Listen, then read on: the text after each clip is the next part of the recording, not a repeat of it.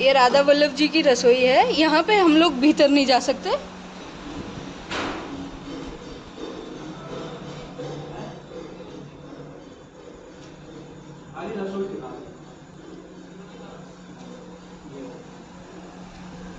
क्या है जी? ये रबड़ी है। अरे।